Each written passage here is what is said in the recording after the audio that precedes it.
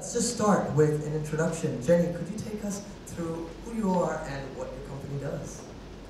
Hi, so um, I'm uh, the MD for REVIV Hong Kong, and um, what REVIV do is IV vitamin wellness strips. Uh, you may know what uh, intravenous strips are from hospitals, where people, when they're normally sick, they uh, might end up having an IV. Now, we're very different to that in the sense that we're actually um, in the preventative healthcare industry. Uh, so we're not so reactive where you know you get sick and you go to hospital, but actually you're looking after your well-being through maintaining your wellness through IV hydration vitamin drips. And why this would be a way to maintain your health would be that through IV you 100% absorb vitamins, minerals, and antioxidants in order to rebalance your body's equilibrium and then flush out the toxins in your body. And very quickly, you can bring your body from a suboptimal level to an optimal level in half an hour. So that's the sort of difference between having anything orally um, to having an IV. And I can go into more detail. That was amazing. I think I want some. Um, so next up, we have GuavaPass's general manager, Antonia. Can you tell us a little bit about yourself? Hi, so um, I work for this company called GuavaPass, uh, which is basically an aggregator for boutique fitness studios. Um, we're live in 12 different cities across Asia um, and the Middle East. And essentially, what it is, is it allows you to create your own uh, workout based on your activity preferences and your location. So you could be doing yoga in Central or martial arts in Causeway Bay. Um, it's up to you to choose whatever you want to do. So it's a very flexible program. Um, it also, um, you, you don't actually have to commit for long periods of time, which is what makes it very attractive. You can cancel after a month if you decide you don't want to use it. Um, and you can also use it whenever you travel as well. Um, so that's just the fitness side of GuavaPass. But what we're doing with GuavaPass is essentially sort of, you know, building out and branching out into the entire uh, wellness community. So we do partner with, you know, healthy F&B uh, companies, yoga apparel brands, that sort of thing, essentially sort of embodying the whole spirit of wellness and the community.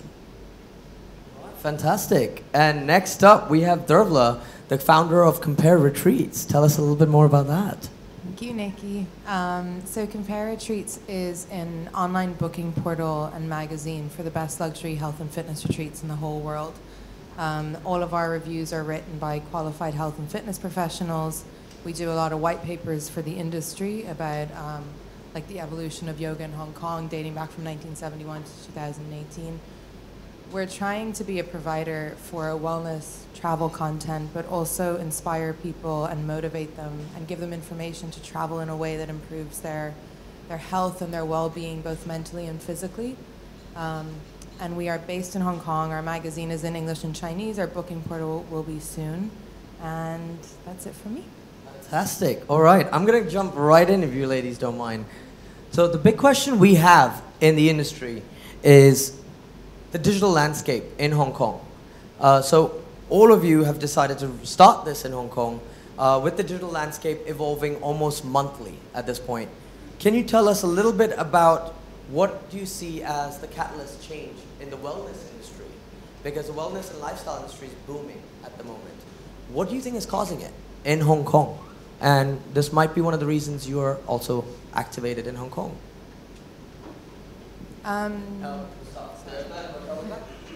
so, uh, any travel company is usually global, but what we found is outbound travelers from Hong Kong are very poor in time and rich in assets.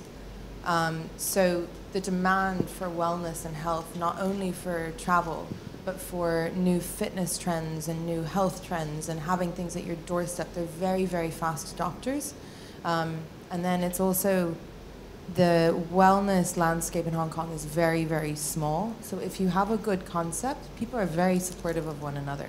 Like we very we, we, we work with the communities, we work with all the different companies in Hong Kong and all the different influencers in Hong Kong that are doing things because we know that's how when you're in wellness, you really you want people to succeed that are in the same business as you. things like Iris Hong Kong, Pure Yoga, like you, these these are facilitators of making people well and happy and healthy. So, and there's a very positive outlook and positive mental well-being in Hong Kong as well, which I find kind of fuels it too.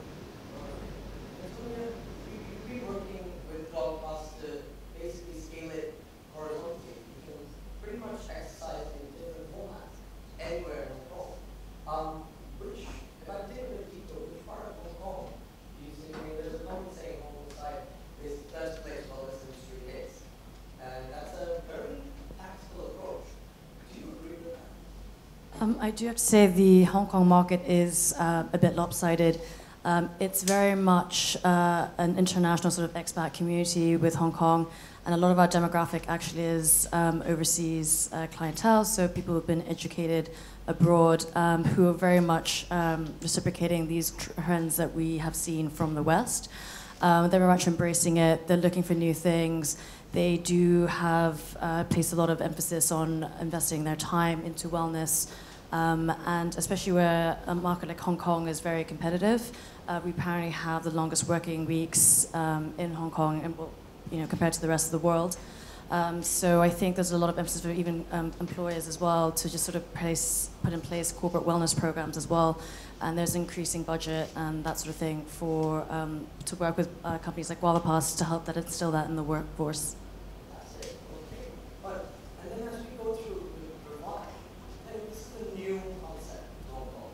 Um, it wasn't around a couple of years ago. Did you find it difficult to bring something like this to a booming environment like the you mentioned into Hong Kong?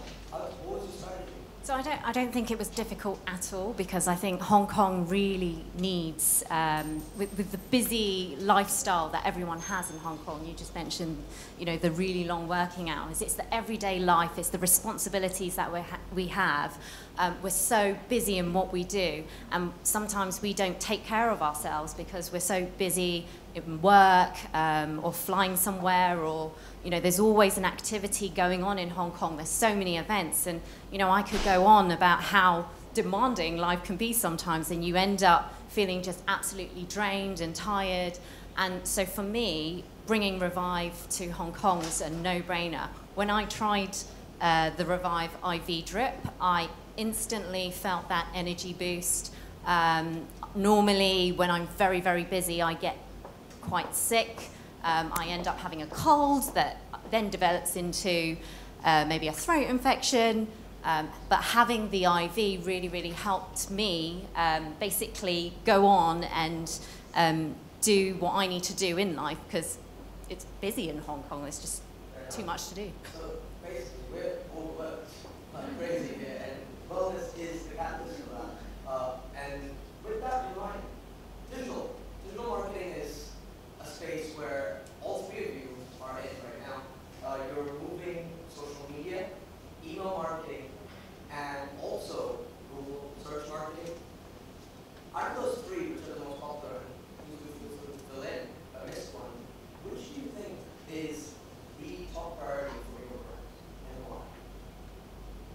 I think for us, um, it's, it's definitely uh, internet search that people find us, um, as well as word of mouth. So for us, it's all about having the content available online because your consumer is, is, is very savvy. You're, you're going to do your research. You know, what is it that's going to help you um, maintain your wellness? And if you get an IV drip, you're going to want to know you know, is this safe? Does this work? And ask a lot of questions. And being able to engage your consumer in, in that sense is, I think, very important. And especially for our business, um, we, we have doctors, nurses, and people will want to know, you know, who's going to give me my IV. And having that content available online um, is essential for us. So with that being said, Antonia, you, you, you, you have the same strategy because it's totally different product, very mass market volume driven, whereas you're going honing in into specifics.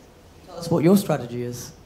Um, because we're an online service provider, um, I'd say email marketing is probably our number one top channel in terms of driving conversions.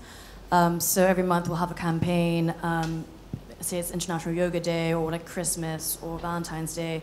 We'll do like a, a two-class promotion, like work out with your loved one, that sort of thing. We'll do flash sales, and I know this sounds really bad, but we actually spam a lot of people. We do say, oh, 30, like, you know, two days left to get this deal, that sort of thing. Um, but you'll be amazed, like, even though people do sort of opt out of receiving emails, but this incessant messaging of like this deal with these, the sense of urgency to get that offer, um, people actually do ultimately convert. And it's, it's very successful for us. Interesting. And Dervla, you're playing a not a product approach, a more review based. How does that how does that work with advertising? Because there, how do you measure return of investment for that? So we make money in two ways. We have um, native advertising and content packages to help build companies' SEO. So we are an authority, and by doing articles about other companies and brands in the wellness and lifestyle space, we help them grow their presence. We also do um, influencer marketing for our properties. We do, and we also do. We're a booking portal, so we we work the same way Booking.com does on the online booking portal. Um, but for us, with, with content and with our conversion, the customer journey was something that we did before we started, before we ever. So every single piece of content, in a way, whether it, was to inspire, to motivate, or to inform, in a way, it all leads back to our booking portal. So we market every single. I think that people now create content just to create content. The most the best time that you can spend is actually sitting down and creating a content calendar and then spending time on the marketing of that one article or that one piece because you can actually break down a, one article that you've spent 150 USD to create you can break it down into a podcast you can break it down into an email newsletter you can do it you can do images on Pinterest and everything should be a content plan in the very beginning should all lead back to your one KPI Interesting. So it's it's more of a story-driven approach that you would take. All right. And with that being said, then let's twist this a little bit. All three of you didn't mention social media, so I'm going to poke a little bit there. Facebook, Instagram, uh, two of them arguably largest platforms in Hong Kong. How does it work for you, and where does it fit in your whole strategy? Because digital marketing is just one component. Where does it fit? Social media. Definitely for us, the essential part uh, what works quite well for us, especially being, um, you know, a very new concept to Hong Kong. Uh, when somebody actually comes in and has an IV drip, they actually post it uh, onto their Facebook or Instagram. And um, what's really interesting is you get lots of comments on there like, "Oh, are you okay?" and you know, take care of yourself, and you know, what you're in hospital. So you automatically. It's a medical emergency. Yeah. um, and, and, and what our goal is really to actually educate people uh, in terms of the, the benefits of IVs and, and that it's not medication that's necessarily in there, it's, it's vitamins, minerals, and antioxidants which help boost your immune system and boost your energy levels. And so it's a lot more positive and it's preventative health care. So you're doing consumer-led postings on social. So it's your clients that are posting it. Okay, interesting. Yeah, so a bit of both, and um, you know, including testimonials from clients as well, um, because you, you trust that you know if say your friend's done it, then you'll want to go and try, and you'll you'll ask them, so how was it? Um, and it's it's through the storytelling of the experience that helps. Um, I guess other people understand how it works and the benefits. Gotcha. Antonia, is this true for your business as well? Um, yeah, actually, very, very true what Jenny just said. Um, referrals, uh, word of mouth is very, very important because no one's really going to sort of believe in a product or a brand if uh, someone reputable or someone they trust hasn't actually tried it themselves. Um, but that said, with, um, with social media, we actually struggle to get conversions on Facebook and Instagram. Um, it just has to be very clear with the funnel that you put people through because if they don't have exposure to it, if it's not like a paid sort of media strategy, people get lost in the messaging. Um, so, say for GuavaPass, if you come to the page, you might not realize they're like, okay, what are all these workouts? Don't really know what it is. um, unless you have brand messaging that's clear about what it is, then takes you to like another page where you're like, okay, we can sign up with these packages, um, and then or something else that leads on to like, okay, what it actually is, and have a clear call to action. Um, it's easy to get lost um, within that. Um, so Instagram, Facebook, we actually use um, more Instagram for creating content, um, telling stories. Um, I find um, stories for Instagram actually is it's quite useful. Uh, people are always kind of like, "What does this workout? Looks really cool." People are engaging with you, um, and stories are more effective than an actual post. I find. Um, and Facebook is more kind of we use it for events, promote things like blog content, that sort of thing as well. So we kind Longer of mix up. storytelling is on Facebook, whereas on Instagram you're doing short bursts of story that are consumer. All right. Dervla, I have a slightly more technical question for you here, um, if I may. Your website covers multiple, multiple pages, right? Slightly different to the two businesses because you have to cover hundreds of them, possibly, if not thousands. So when you do a Facebook ad, do you take them to your homepage? And if not, where and why on Facebook and Instagram? So we have, first of all, I'm an, I'm an editor, so my background is content and milking content until I get the last ring out of it is, is what I do. Um, so we don't usually put them back to our homepage. So basically, if, if you want to have a look at what we do on our Instagram account or on our Facebook page, for Instagram, we have usually a series of a pattern of 14 posts. Uh, the first post will send someone to a dedicated country and retreats in that country. The next one will be an inspirational post just to get people to get some traction to to inspire people to travel better. The next page will maybe go back to uh, an expert reviewer and then link the person back to all the retreats that they've reviewed. Another one might go to a certain a certain retreat, a certain retreat type. So we have retreat types, we have retreats, we have destinations, and then we have specific retreats. So we have a lot of pages. So we have a certain pattern that we do, and then our stories follow a certain pattern as well.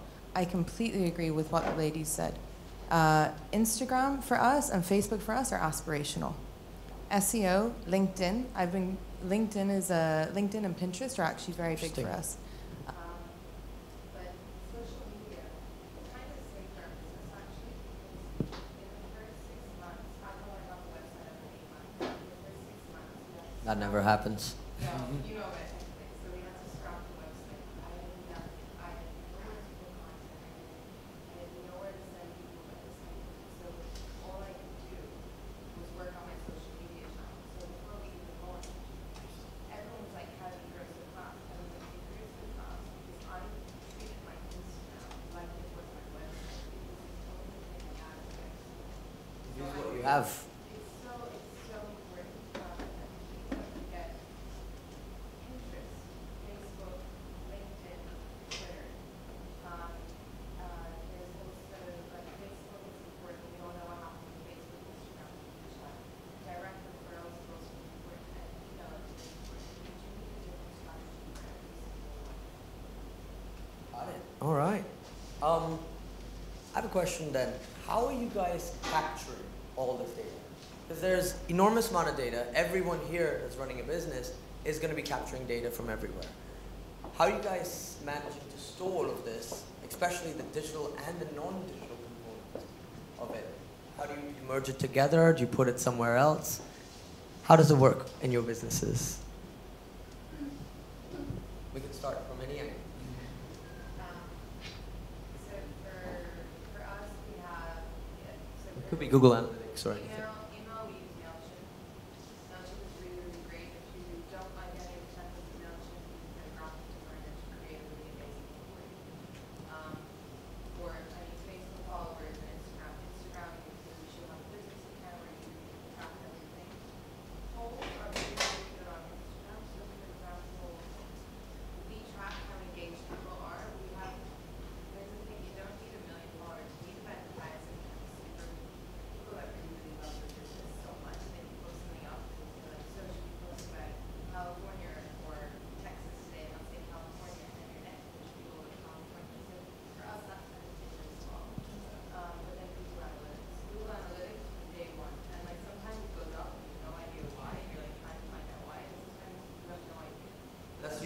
when we get calls like something's happening to my Google Analytics. I don't know what's happening. Can you please tell me what's happening there?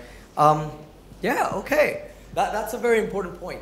Um, so I would love to dig a little bit deeper here on how are you going to bring out, you guys mentioned social media, you guys mentioned customers, but KOLs. I don't know, do we have any KOLs in the house? Just in case, no? Oh, all right. Hi, Vivian. Um, so this is very interesting, right? There's horror stories of KOLs, there's amazing stories of KOLs. Tell us your journey and have you tried it? Are you thinking about trying it? What's the plan? We, we've definitely tried KOLs and it's worked really, really well for us um, just because of the business that we are.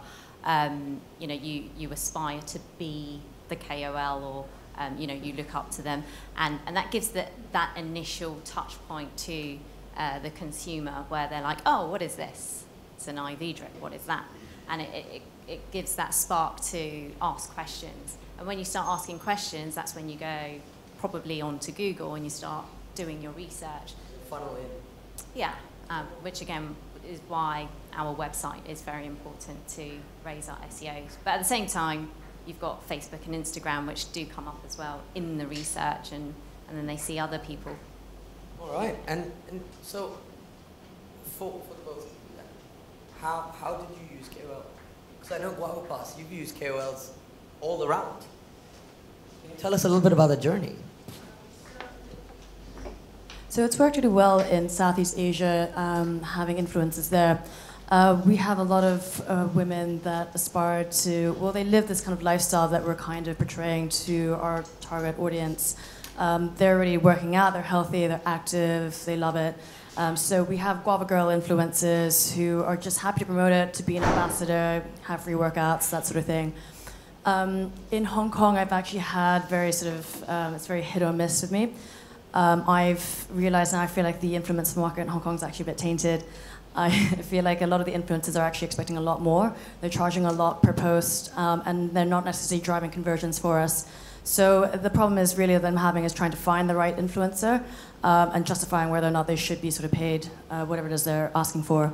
Um, also, even though we sign contracts with influencers, a lot of them actually sometimes don't deliver as well.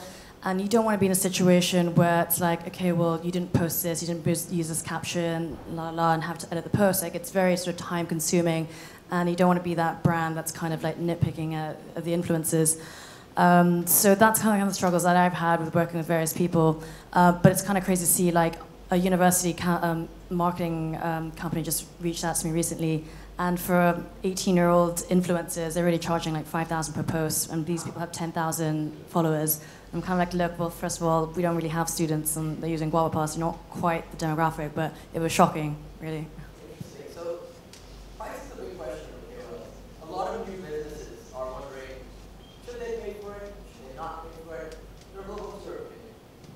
I don't think you should. Um, it depends though. If you have, I just think that you should work with brands and people that you really, that really, really love your product. For me, I'm lucky. One area that in the influencer market and in the services market as well, if you have a service and not maybe just a product, some people are usually happy to post for free we only work with the best luxury retreats in the entire world. So when you get an email in your inbox being like, hey, you're pregnant, we want to promote a pregnancy retreat, we're going to send a photographer to you, would you and your husband like to go on a free trip? The answer is usually the answer is usually yes. However, the biggest problem with influencers that I find is that you can have someone with a million followers, but you need to ask yourself, you need to really look through those people, you need to find their demographic if they're if it's a super yogi and their followers are 18 years old, they can't afford my product. You know, like so I might get more likes. So you know, you can do it for more likes. You can do it for brand awareness. You can do it if you need to engage with a different demographic, like men, for example. But if you are trying to drive conversions, don't expect that if you pay an influencer 100,000 USD, unless it's Kim Kardashian, that you're gonna have a ton of sales, you know? So just, just be careful. There, there's wiser ways to spend your money, I find. Um, and you can do, so micro influencers. Instead of, um, we recently did an article on 34 women leading the wellness revolution in Hong Kong.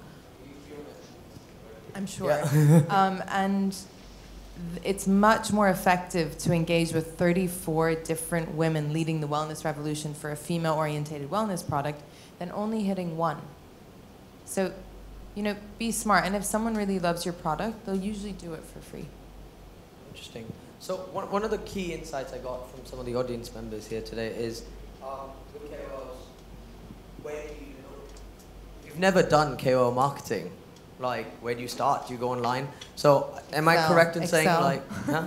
Start an Excel spreadsheet. Start an Excel spreadsheet. Yeah, just- Yep, I think that is the strategy.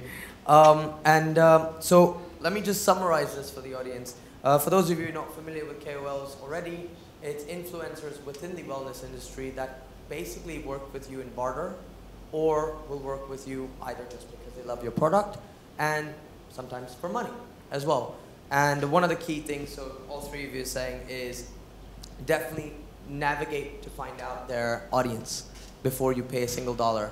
And you guys mentioned working across multiple regions as well.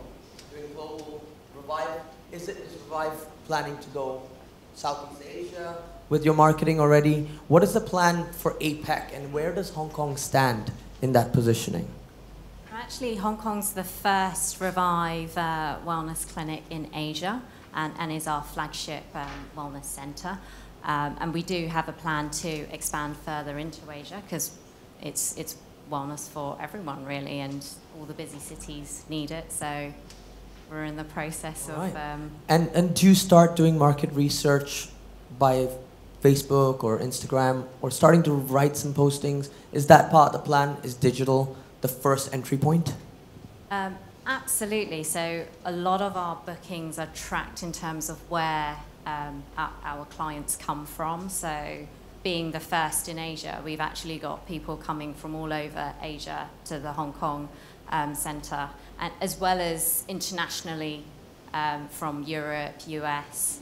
Um, so, so yeah, we, we, you we- got a global data right here. exactly. Got it, got it. And and Tony, how about yourself? Um, so Singapore was actually the first market that we launched in, um, and then Hong Kong and Bangkok simultaneously soon after. Um, we're now in 12 cities across Asia and Middle East, um, and Bahrain and India being the most recent ones we've launched in. I'm not responsible for those markets, but I know for India, um, because I, we share the one same Hootsuite account that all the cities are using, so I can see when all the scheduled posts are there for, for India, and they, def- they definitely have used digital as their first entry point, as you mentioned. You're building the hype about it, you're building the presence, and then as soon as, you have the content, people just you know tune in and see what you're up to. Is this similar for your side as well? Um, do you do you use digital as the forefront in your marketing strategy, or is it an offline presence as well? The funny thing about, I thought when I first started that everyone wanted to do everything online.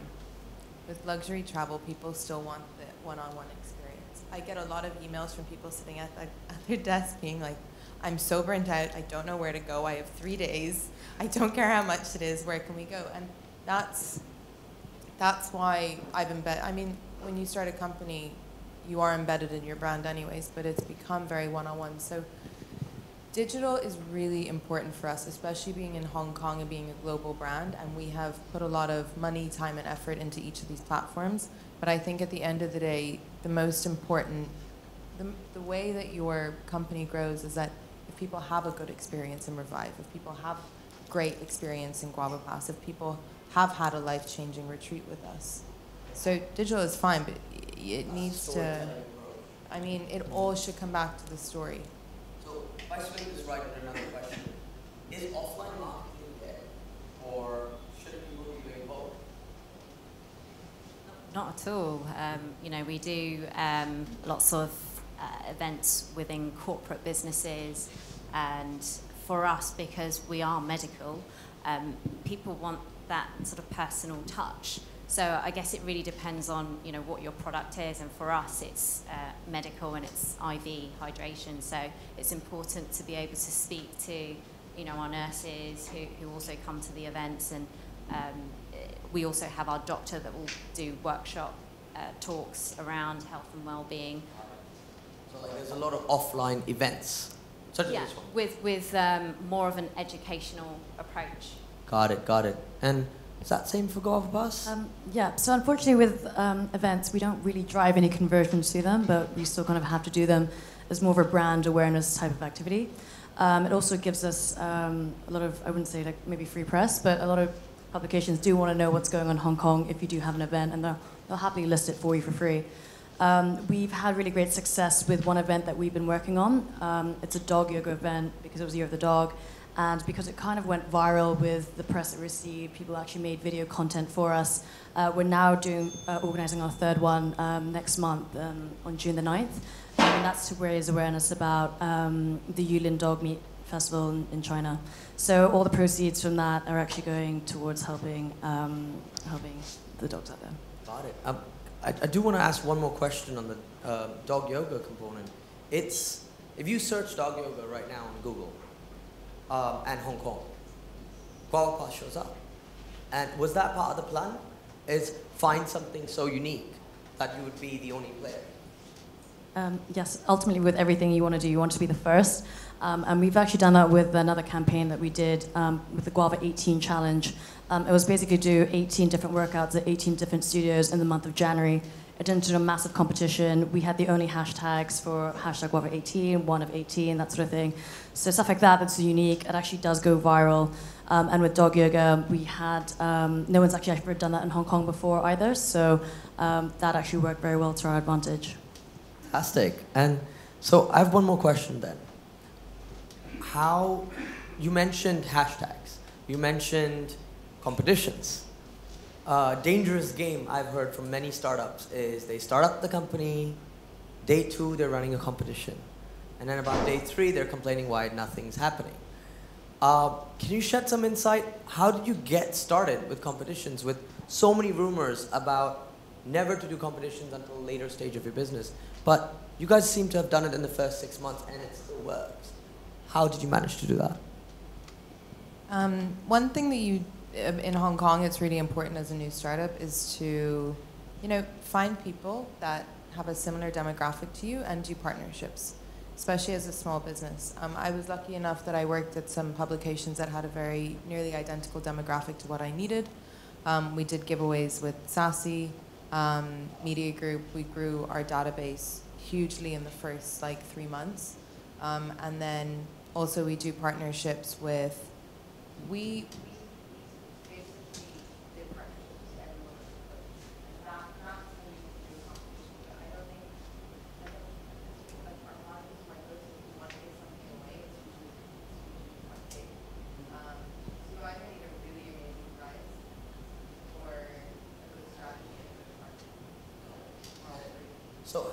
did you guys use all three as well? With um, I'm just going to switch over and come back to you, Antonia. With REVIV being a new product, new new name, how did you find partners, and was it easy in a place like Hong Kong? I think for us, um, again, being you know very new, um, and, and, lots of people quite intrigued with what REVIV is, um, we we actually had people coming to us. Um, so it was actually trying to filter out who would be the better partner um, and, and representative. Um, and you know, we're, we're still learning. Could um, I ask any any tips for if anyone here is getting a whole bunch of people saying partner with us? What do you look for?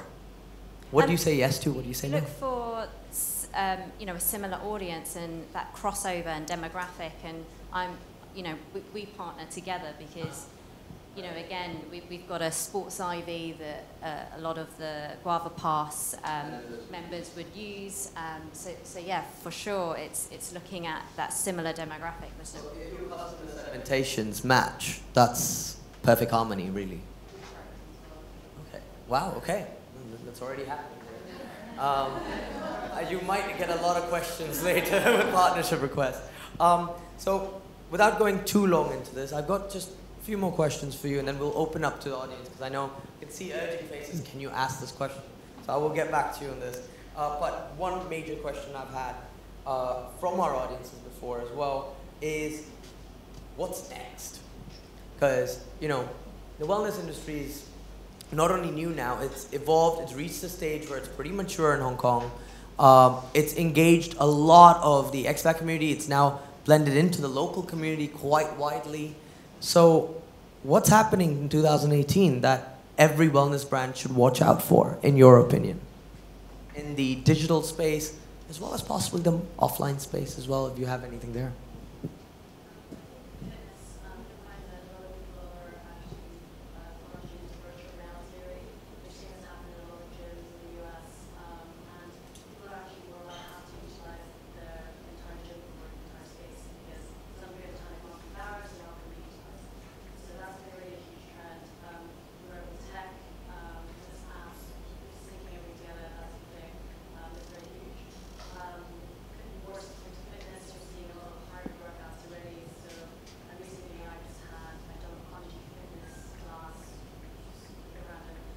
Tell us a little bit more about how that works, because I'm clueless about what bungee fitness is. Um, so I was kind of wearing a harness, and then you're kind of like doing various exercises, like lunging, backwards, forwards, upside down, like aerial, like it's crazy. Like bungee Um, jumping. Yeah, yeah, kind of, but you're within a confined space. Interesting. Um, and they also have like pound flow with drumsticks, so it's kind of like coordination rhythm, but it's like a cardio workout. They also have kangoo jumps, which are these things that they attach to your shoe, and you're kind of just pumping around.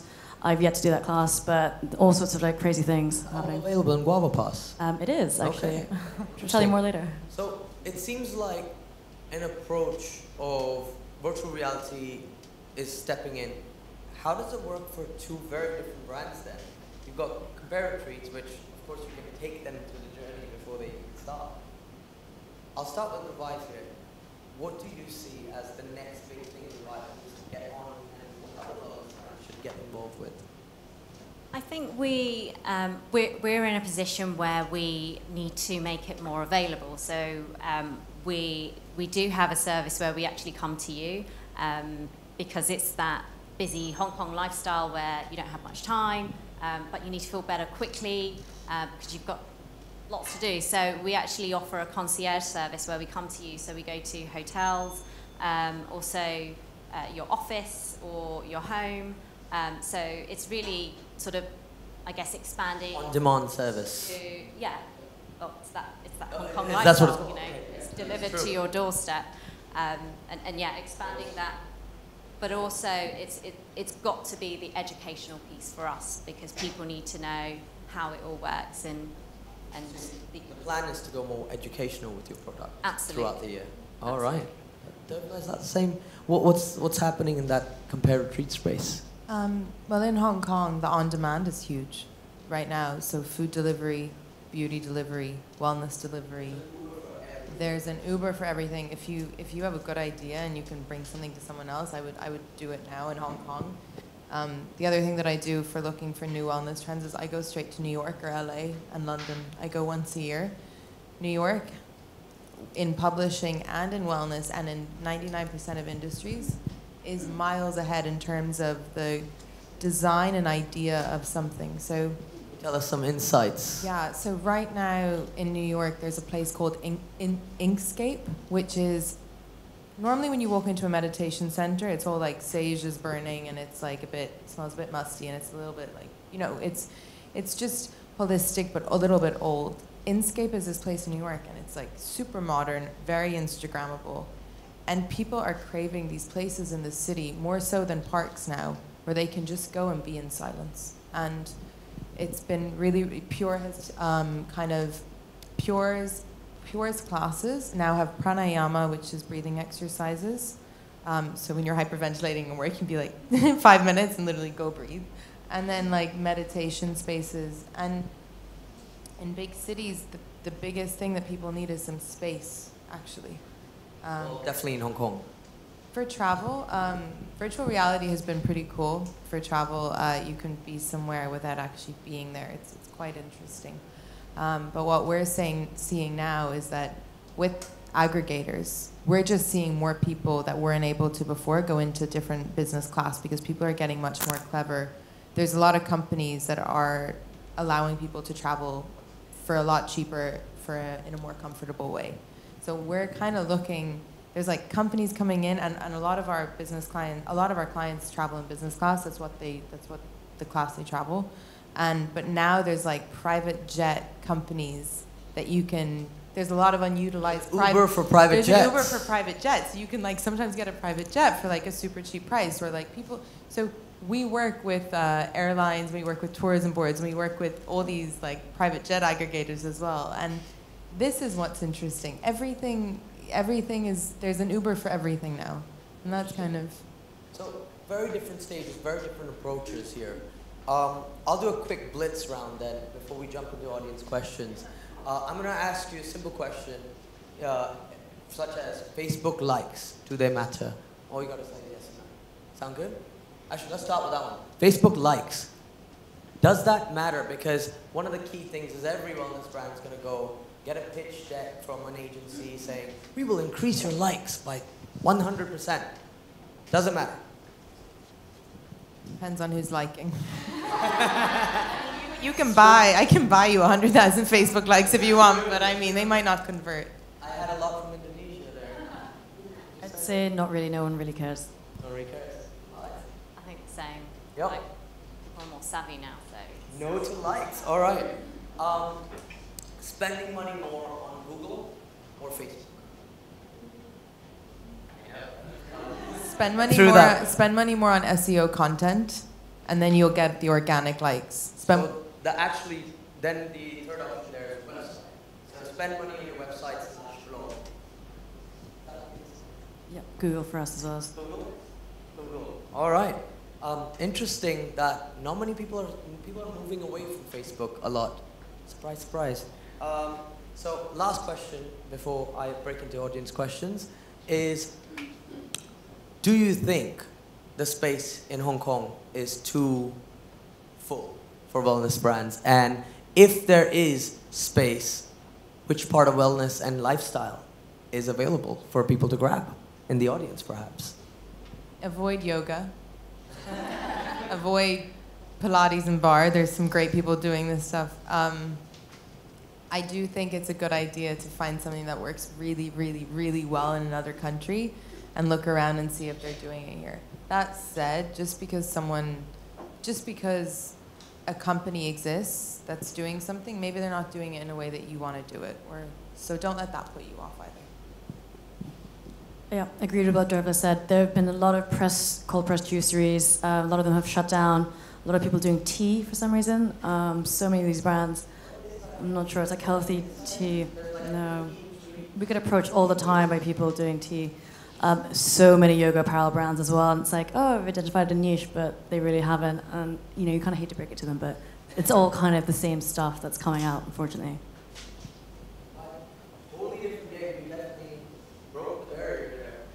Do you see any of the players entering the space? And should is there space to collaborate with that one?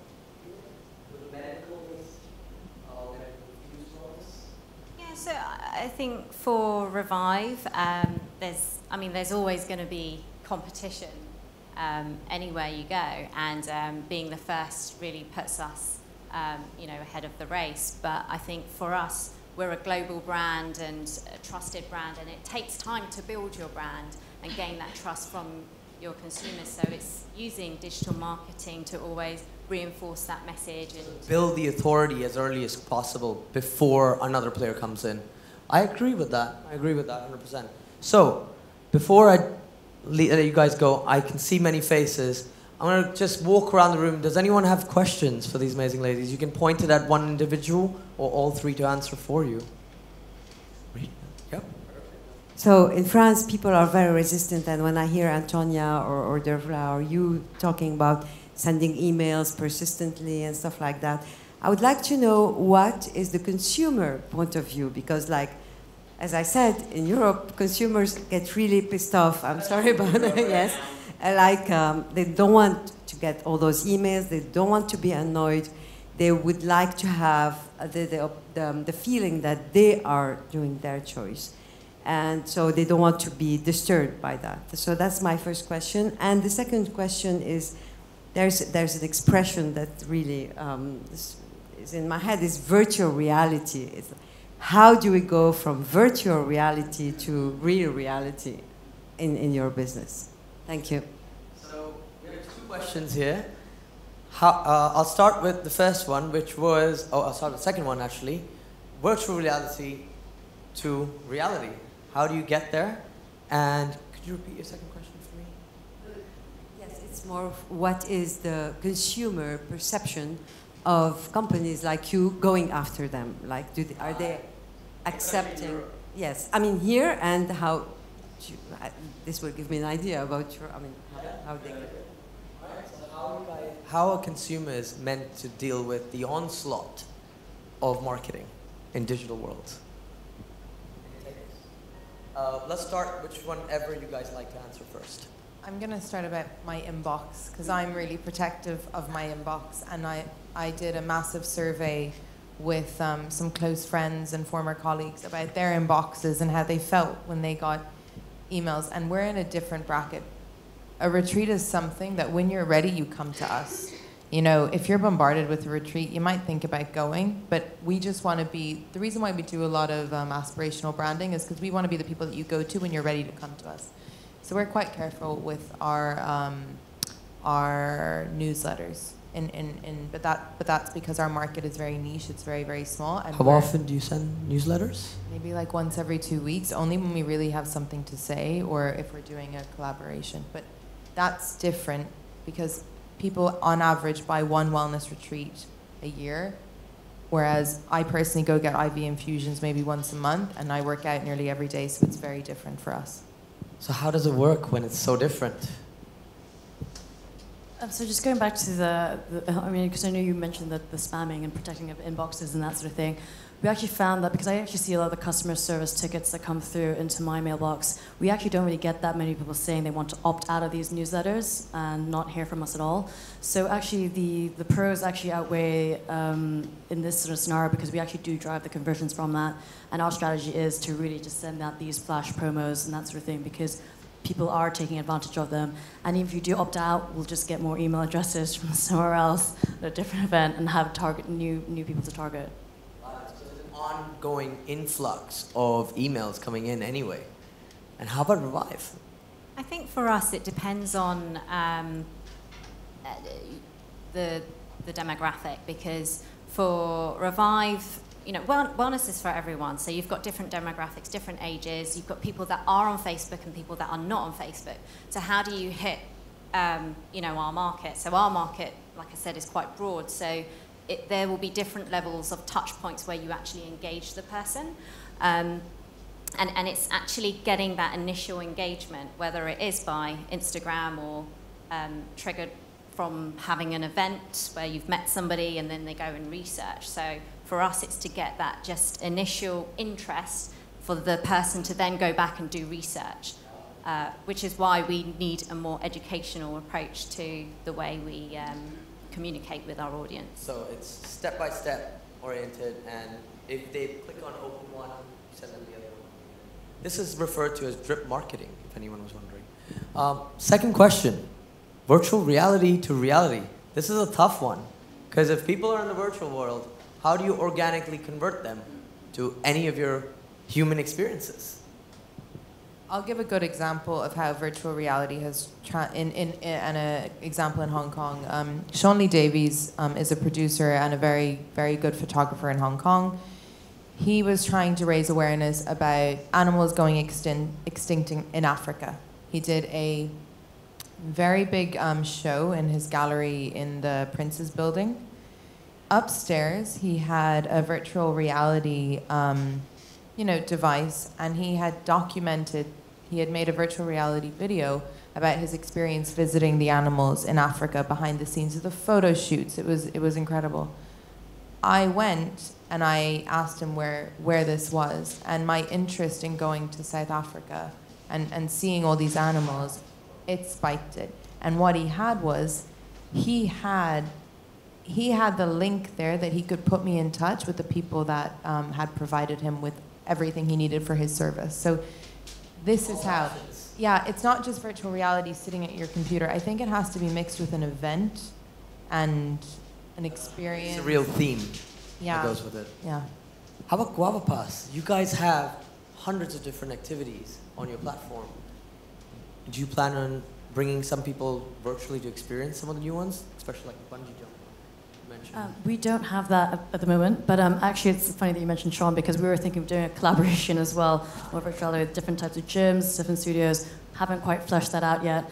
Um, but I guess more of the threat for us is if live streaming becomes really, really popular, there's nothing to stop someone like any of us from just working out at home, just like do like a 20 minute yo- yoga sequence. Uh, they don't have time to go to the gym, that sort of thing. So that ultimately is people don't want to go to the gyms and that sort of thing. Uh, but you know, you hear the flip side, people actually do need an instructor. Um, so to motivate you and to sort of be there and like shout at you and sort of see you in the background. Definitely my life. Um, so yeah, so exactly. So we haven't really had a huge issue with, and we don't, we, we haven't seen virtual reality in the studios here yet. Um, but if it does sort of take off, I actually do think it will be quite popular, and it also saves um, on instructors actually physically having to be there as a presence. So um, instead of paying for that, yeah, instructor, you can actually have You're another saving experience. money on rent, which is extortionately high in Hong Kong, and then also on experiences that you can do it from your home. All right, and what about REVIV? Would you ever plan on going and entering into a space where people can experience an IV drip, just to see if it's safe or not, and some educational? Yeah, I think I think definitely from an educational point of view, but the, the proof is in the pudding for us. You know, it's it's in the IV. You have to come and try it because it's a physiological experience that you'll get. But for sure, um, and, but, you know, to engage the consumer, uh, virtual reality would be really interesting to talk them through um, how it works, how it's safe. Maybe speaking to the doctor or the nurse. So um, that would be And, and that's something quite interesting you mentioned there because people look at virtual reality as an individual experience, but actually it's moving on towards more like a, a seminar, almost like this. You could attend these in virtual reality in New York, like you said uh, already, and you can ask questions by typing on your keyboard, and a question pops up behind the speakers. So that's something that's happening already. That sort of live communication. Facebook Live, I think, it's pushing that. All right. So, any other questions? Yeah. Uh, right next for you. Hello. Okay. Um, so this could be a question for all of you. Um, word of mouth is very effective in the health and wellness industry. So how and what do you guys calculate to identify someone as an advocate, for example? So, how do you get the guys that spread the word for you? How do you how do you check if if they're the ones that should be doing it? Do you measure a particular metric?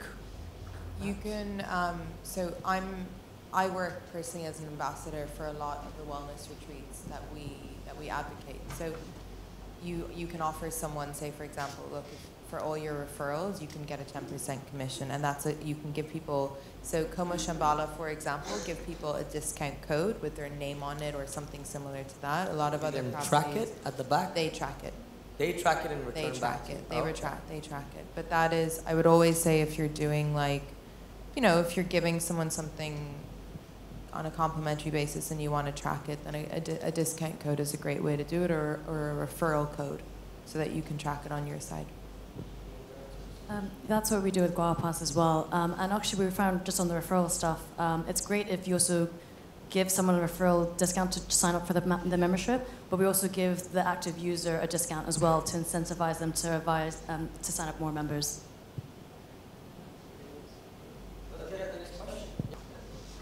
Hello. Oh, hi. Uh, I'm, I'm Joy, and then uh, thank you guys for the excellent sharing. Uh, I just want to, because I'm a digital marketing professional, and uh, I do want to start my own business. So I just want to know when you guys starting your own business, right? What are the critical moments that you feel it's a push that you know help you drive further, like your own businesses? Even for GuavaPass, I know you guys, maybe you guys have a like cl- close close competitors everywhere, like in the world, right? So what, what are the actual pushes or the moments that drive you guys? And ask the question. How do you, during a startup phase or when you're about to start, what is the most integral part of your strategy?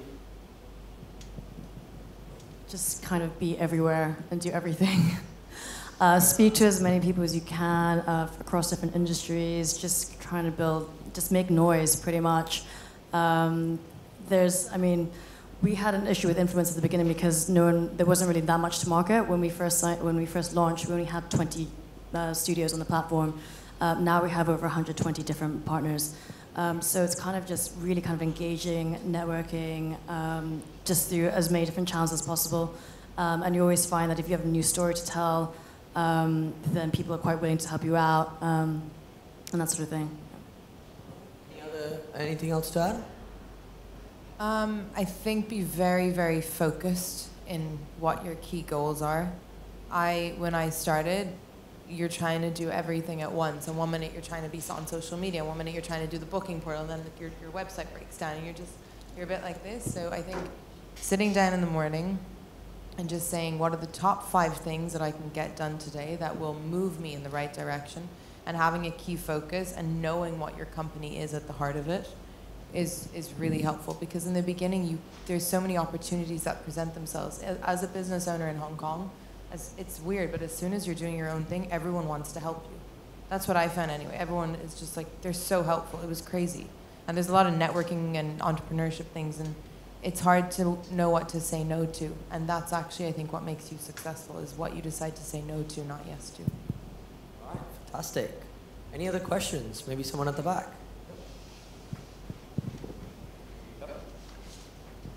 Uh, so this is for uh, Compare Retreats. You mentioned about Pinterest and LinkedIn. That's unusual. So I wanted to know how you use that, and where did you take uh, the people on LinkedIn? I mean, they're all professionals there. So I was quite intrigued with that, um, mention of yours. Okay, so if you have a product that somebody needs to pay for, people need to make money to pay for your product, right? The people that have jobs are usually on LinkedIn. They're usually not on Instagram. Like, I mean, I mean, in general, they are corporate professional people or business owners that are generating revenue or income, usually on LinkedIn. You don't really have someone messing around on LinkedIn because they're bored, right? They're usually quite engaged as well. Um, I, I had a career, I, I, I started off in banking and then I went into like venture capital for a bit and then I was in publishing. So I was already on LinkedIn. And what I liked about LinkedIn was that I wrote a lot of kind of, I suppose I was in lifestyle publishing, but I wrote a lot of like heavy hitting articles about certain topics that I felt like strongly about and I published them in different publications. But I liked the audience on LinkedIn and I liked the engagement. It was amazing. I remember, this is why Google Analytics is important. My personal blog at the time spiked to like 10,000 hits in like a few hours one day and I was like, this makes no sense. I was like, something's broken. I called my developer. I went back on, I went back to LinkedIn. I had posted an article about like a monk, a millionaire monk or something, and it just skyrocketed because people are people are very engaged on LinkedIn. So LinkedIn is really important. The way that you build it, you start connecting. Super easy.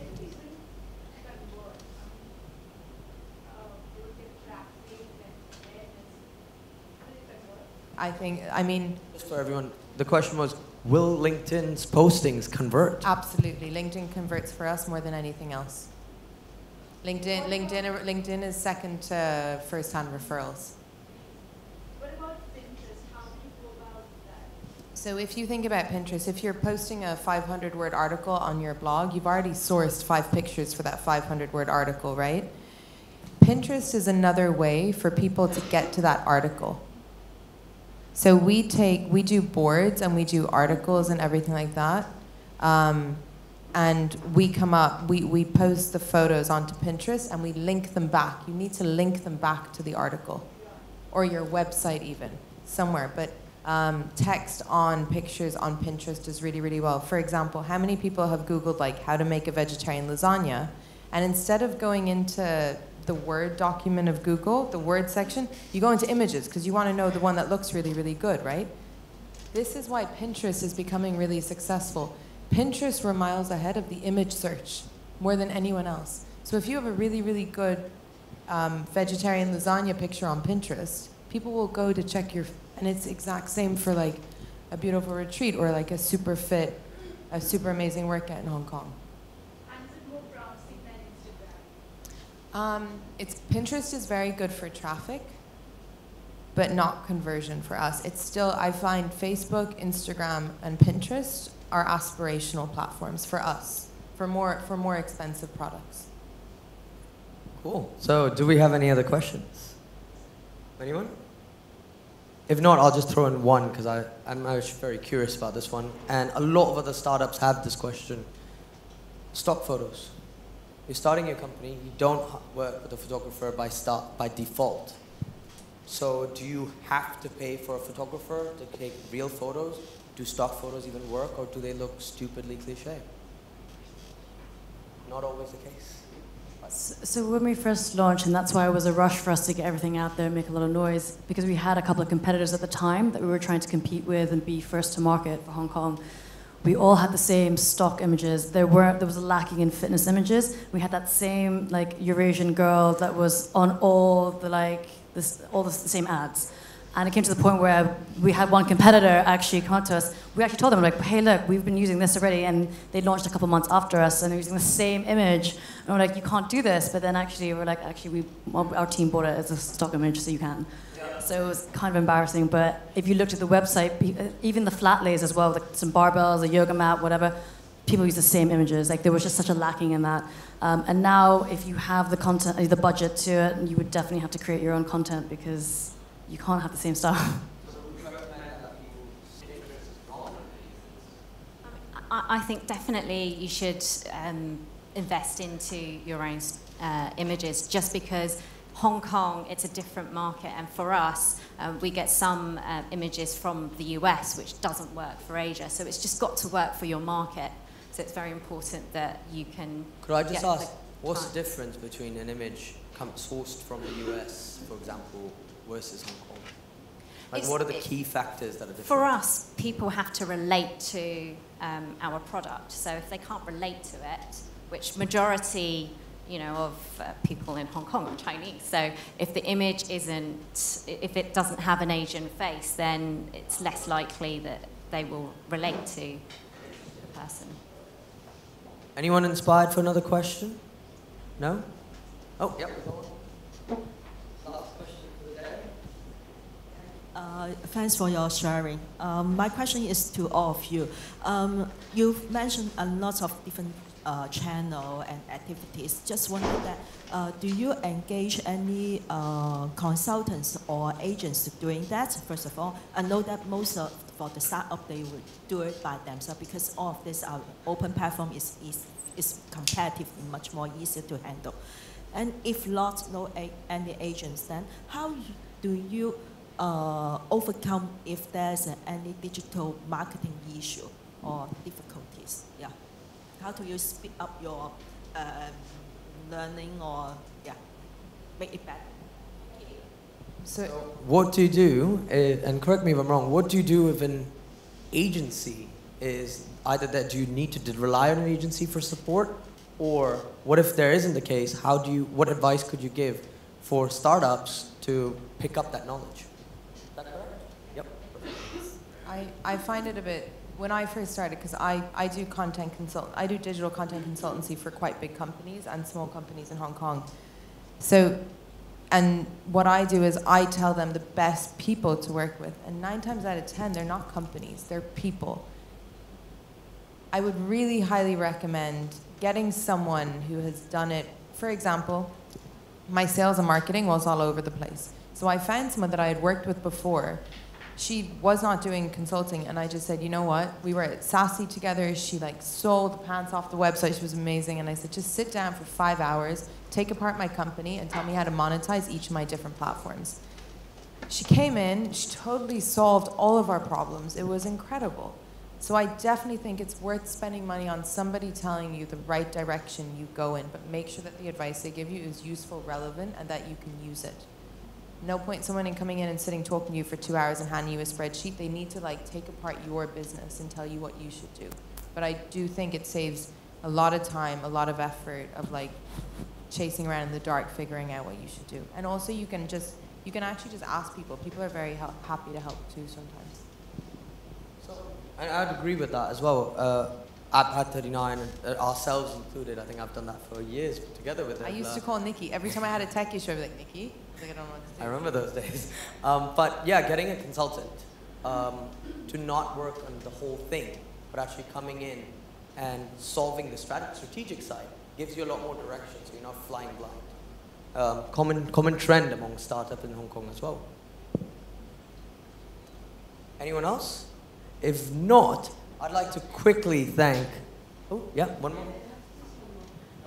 Very good question. So you are all based in Hong Kong, but um, how can I formulate this question? Would Hong, is Hong Kong like the stepstone for all of Asia, all, all the world, or where is, I mean, where does it stop? Where are the limits? Maybe Dervla, it's broader because uh, We I don't know for, for the rest. I mean, for us, we had to. So when our when our social media channels were all up, and once our website was up, we did a Google Analytics of the. We did a lot of very strong SEO content so that we could organically see who was coming to our website. Hong Kong, London, Dubai, and New York. So in Asia, Hong Kong was really, really big. But I also think in part that wherever the founder is based and wherever the founder has a bit of like a history, that's that's going to be a big hub. But for uh, us, outbound travel, there's a lot of HQs in Hong Kong. Even I had a friend move to Singapore who was in fashion. She was like, it's so quiet compared to Hong Kong. Uh, Hong Kong is, is, is crazy with activity, and I don't know if you guys find the same, but. Um, yeah, so I guess for us, 'cause we're already in 12 cities now, but to have Hong Kong as one of your markets, it's, it's critical. You have to have a major metropolitan market. I mean, we're like the gateway to China. It's very competitive here. So if we're going to be attractive to someone who might potentially buy at our company, you have to have Hong Kong as a major city. Exact- It's, it's exactly the same, um, and, and that's why we chose to open in Hong Kong first um, to expand across Asia for REVIV. Ladies, thank you very, very much. Quick round of applause. Thank you for your time. Um, I'd just like to quickly thank a couple of our sponsors, including the three ladies here. Uh, you all had backs on your seat, so the wine and actually a new brand from New Zealand called Athik has launched uh, through a company called Isco. Um, so definitely, definitely check them out. Uh, they're brand new, fully, fully organic, and actually pretty cool because I've been using them as well. Um, and we have wine sponsored from Isco as well. And then on the back of that, we have uh, a single day pass with GuavaPass. We have a, a single session.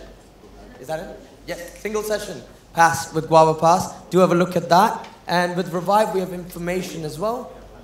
And we also have a B12 energy booster shot, so if you need that to, to give you that energy boost to carry on I'd see working and be productive.